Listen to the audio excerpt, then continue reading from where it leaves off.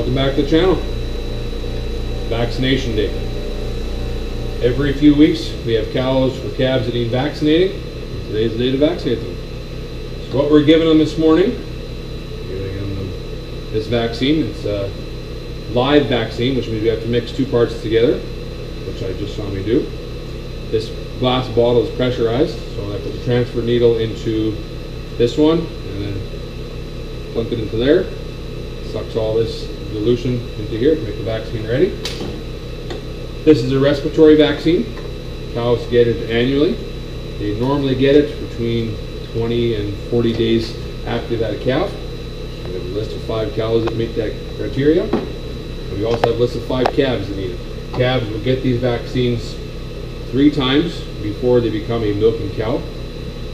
Twice as a calf, once as a yearling heifer, and then once after that they go on to the annual program that the cows are on. The other vaccine that I'm giving him here is a Clostridial vaccine, protect against blackleg, something that's a little bit prone in our area, so we gotta make sure we keep up on top of that. So yeah, get our vaccines ready to go here, get our guns loaded up and head to the barn.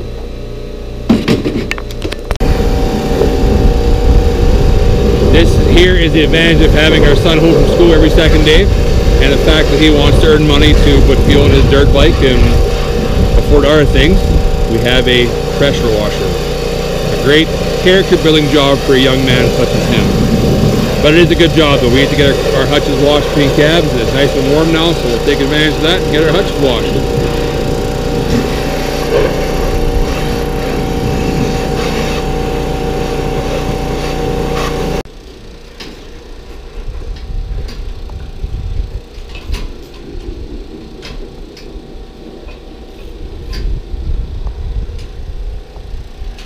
Both of these vaccines need to be given subcutaneously. So that means we need to give it between the muscle and the skin. That's what we're doing. And between every animal, we change the needle.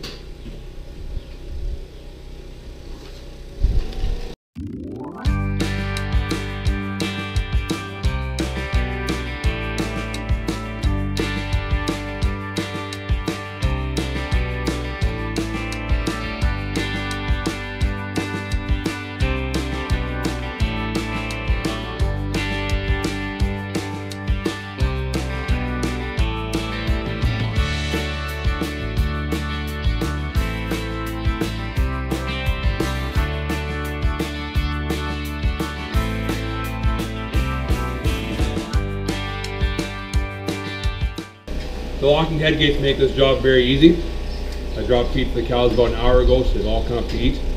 And uh, yeah, the head gates are very simple. As soon as the cow puts her head through and then down to eat, just pushes the bar down, these two little tabs grab the lock, and that's it, the cows are locked up. If you would just lock one cow on this by herself, she wouldn't like it very much, she'd be very nervous, the cows are all locked up together as a herd. Um, I've locked up oh, almost 60 cows here, only to needle five. Um, but that's fine. They're all coming to eat anyway, so we'll all lock them up. And uh, it doesn't take long at all to get this done. But the problem now is we do have a group of cows outside eating. They're all run as one group. And of course, one of the cows that ate the needle eating outside. So I have to somehow get her in here and get her to lock up with one of these spare head gates. So we'll get her.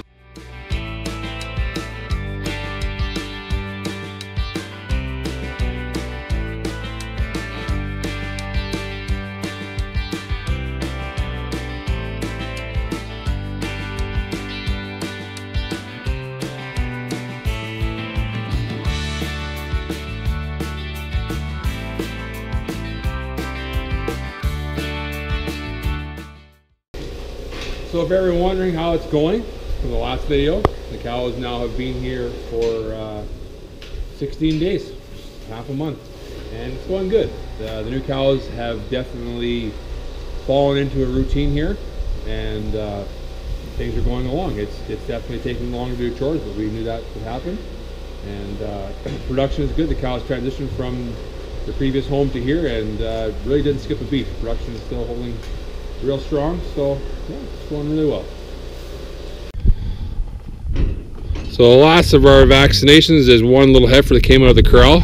For the corral calves, we just run them down the alley and into our handling system we had built for the beef.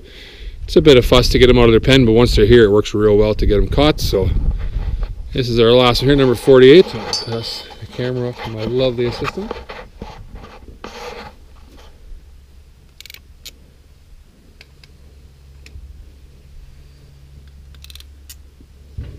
Done.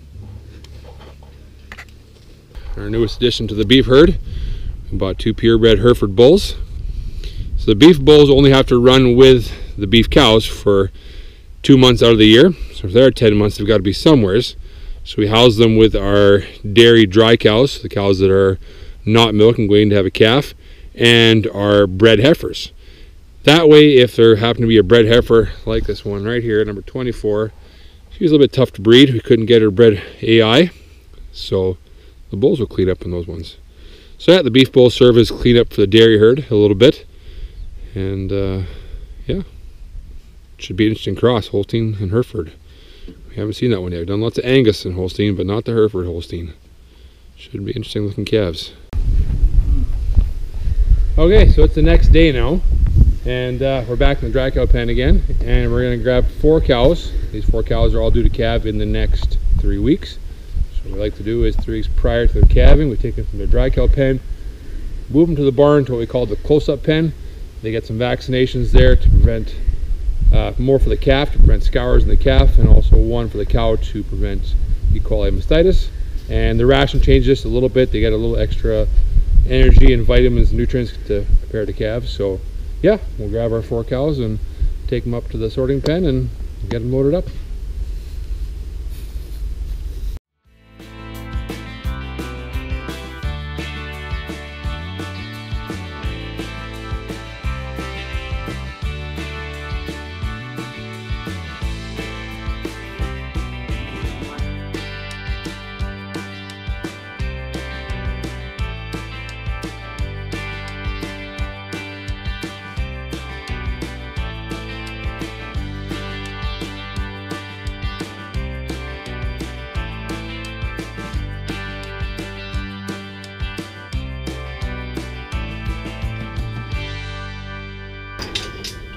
Down, free to go.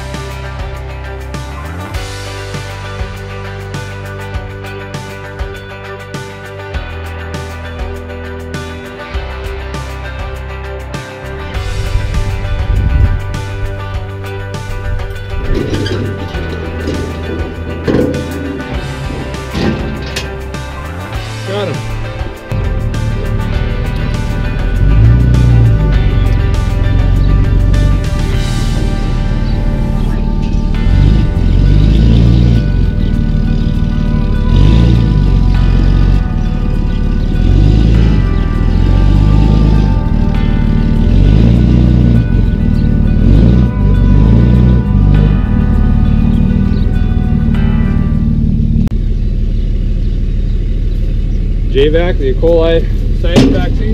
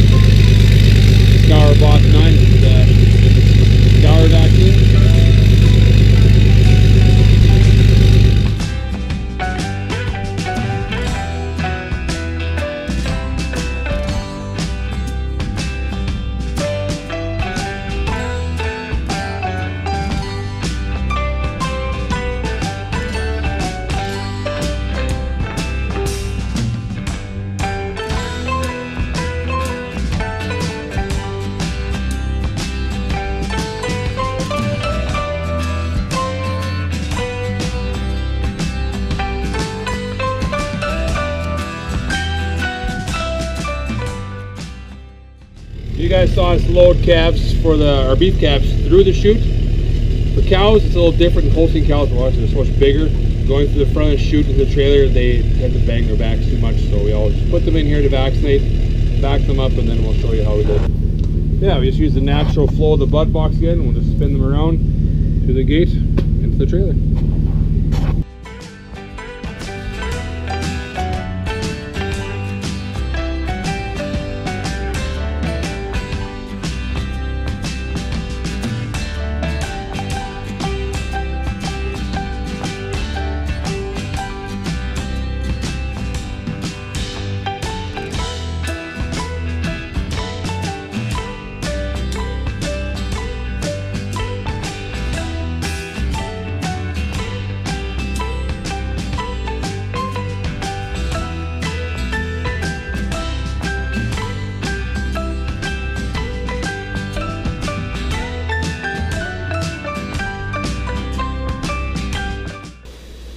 Okay, that's all the cows vaccinated, all the close-up cows brought in.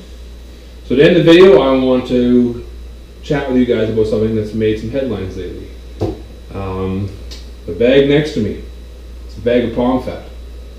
We feed palm fat to our cows. We have done for many years now. And recently it's made some uh, headlines, uh, issues around butter hardness, and uh, some claims that it was being snuck in there by farmers. So let's chat. Air this out. Uh, the claims are being reviewed, but they are, in our minds, false. This is a safe, proven product that we have fed for many years. What the palm fat is, palm fat that we feed cows is a byproduct of palm oil consumption. Now, palm oil is a very readily used product you look at your pantries, you'll see many products that have contain palm fat. Uh, for example, Nutella, peanut butter, uh, just two. It's in lots of confectionery, the candy bars, it's in there. So this is the byproduct of that. What it does when fed to the cow is it increases the production of palmitic acid in the cow's mammary system, which then produces more butter fat. By the cow eating the palm fat, she turns that into butter fat. Just to clarify that when the cow eats the palm fat, she does not emit the palm fat. Through the wonderful magic that is the cow's rumen, she can take this product, she can break it down, and she can use it for energy, supplement. We've noticed actually feeding this, it's, it's given a positive energy push to our cows, especially early on in lactation to help boost production and to boost reproduction. So it has more benefits than just feeding for the, uh, the butter fat, but the butter fat is the main reason why we feed it, to increase the butter fat production the way our milk is priced is based heavily on butterfat, so butterfat production is a key component to what we want to do. So what palm fat is, really, is a tool for us. The forages we feed our cows, the base of their ration, that is what our aim is, to get the most nutrition out of that base, that forage. Um, and every farm aims to make the best quality forages they can. Um, but that's always a variable because there's a lot of factors that play out of our control, such as the weather, like us making forages. So on a year where your forage production isn't that good, um, it'll work. The cows will definitely eat it, but it's just not. It's lacking a little bit. We can use tools like palm fat to fill in those nutritional gaps. Um, if there was a year where we had extremely good forages, and with that forage alone, we could produce the butterfat levels that our cows that we need from our cows, we wouldn't feed palm fats, or we'd feed a reduced rate but the rate of palm fat that we feed our cows today is based on the recommendation from testing all the feeds we have on farm. And then our nutritionist takes all those feeds, plugs it into his computer, and balances out the ration for the cows and says, if you feed this little bit of palm fat, it will fill in the gap to help produce the butterfat levels you want. And in our ration, the palm fat as an ingredient is less than 1% of the total diet of the cows, so it's a very, very small ingredient that goes in. Uh, it's it's got a cost to it, so that's why we keep the inclusion level small.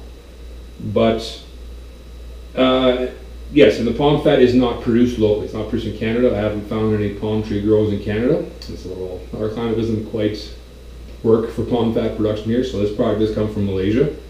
We source our palm fat from a uh, company that is certified sustainable in their palm fat production. If you look on the back of this bag, so we feed a product called Energizer RP10. On the back of this bag, there are feeding instructions in multiple languages. Obviously, I have English and French. I believe we have German and Dutch. And at the bottom, we have Arabic. So this product is fed to dairy cows around the world. So it's not just a thing in Canada. This is fed around the world. This is a common practice. Uh, when it comes into a country like Canada, CFIA, the Canadian Food Inspection Agency, has to say what we can and can't feed cows. This is good. CFIA has given this product thumbs up so we can feed it. So there is uh, a working group put together right now for the dairy farmers of Canada to uh, review this practice and just look into is feeding this palm fat actually making the butter harder? What's going on? Why is butter harder? We haven't ourselves noticed that butter is harder. We eat a lot of butter in our house, so uh, I'm not sure what the, the claims are on being butter being harder, but anywho, we're looking into it. We're going to uh, go through the proper channels, do the proper sound science to make sure that this is all legit. So, and one final touch on that. Um, so yeah, that's a byproduct of palm oil production. A lot of the ingredients we feed our cows are byproducts. So what I have in front of me are just two examples of what we feed in our farm. We have corn distillers. This is the leftovers from the ethanol industry. After the corn is ground up and they, they do what they do to the corn, this is left over. Uh, this has a good energy content, but a very high protein content. So we feed that. And another one we've restarted feeding, these are beet pulp shreds. So the leftovers after making sugar. Grind up the beet pulp to extract the sugar to make sugar that is everywhere. All the sugar you use in your house, uh, usually North America, comes from, a lot of comes from sugar beets. So again, this is a byproduct. These byproducts are, are not fit for human consumption. Uh, this stuff, when mixed with water, swells up and smells amazing, but doesn't taste very good. So you or I aren't going to be eating bowls of beet pulp shreds for breakfast, or we're not going to top it with any uh, corn DDGs. But when I give these to my cows, again, the magic of the rumen, they can take that four compartments stomach of theirs, they can break these ingredients down to their key ingredients, or their key components, sorry, and, uh, and use it to produce a really good, wholesome product, milk. So this is uh, beyond a recycling process, this is an upcycling process. All these byproducts, and I could list dozens uh, that, that, they get fed. Canola meals, a byproduct of canola from making canola oil. Um, we feed liquid whey. Uh, what else is there for byproducts we feed? There's, there's, there's a lot, uh, especially when you go further down into uh, United States where there's different crops grown. There's peanut hulls, uh, almond hulls, cotton cotton seed shells. Uh, there's so many things that are the byproduct of things that we produce that cows can then take and upcycle that into food again for humans. So it's uh, it's a bit of a champion story, I think, that cows can take things like this and, turn it into food, and that we can use them. Because if we didn't have cows to do this, an ingredient like uh, corn distillers is used in a lot of diets, a lot of monogastric diets, so, so pig diets and chicken diets is used there as well. But some of these byproducts like this, like the beet pulp, that is primarily used in a ruminant diet, so for cows. And again, that rumen is such an amazing thing that can extract nutrients from something that has little value to us humans, and they can turn into food again for us humans, whether it be meat or milk or eggs. Uh, we've got the chickens. So yeah, it's a bit of a long ramble here, but it's something I'm I'm pretty proud of that our cows can do this, and I think it's a really really good story. So yeah, that's kind of the gist on that. Uh, any questions on stuff like this? Ask a farmer. The comment section below. Fire off some comments here. Um, you'll find a farmer on social media, and if you uh, if you want to ask a question, I'd probably suggest sending a, a, direct message to that farmer if you have a really hot topic question, and that farmer will most likely answer back. You hop into any one of our social media pages, or Instagram, Facebook, you direct message me. Um, I'll give you an answer on stuff like this. Um, if we want to talk about a broad open spectrum, like we are right now on YouTube, uh, we can do that as well. Um, I can, if you ask, yeah, put some put some comments below in the next video. I can ask some questions about the stuff if you have questions on it. But that's a dialogue that needs to happen here. Uh, there is becoming less and less of me, of the farmer, that feeds more and more of you, the consumer. And uh, there's definitely a gap there, but things like what we're doing today, we're trying to bridge that gap. And I want to be able to talk to you guys about that. And if you have questions, ask the questions and go to the source. Ask me the questions, ask another farmer the questions. Um, you know, we can bring on people like nutritionists, answer questions, my veterinarian. We work with a lot of people to get you the milk that we produce in this farm. There's a lot of people involved. So, yeah, I'll leave you with a pretty simple statement. My hat from uh. Thank you very much uh, for giving me his hat. I farm, you guys eat. That's not where it ends. Let's, uh, have a dialogue and have the trust that uh, is in the product we're producing. And yeah, thanks for watching, guys. We'll catch you next time.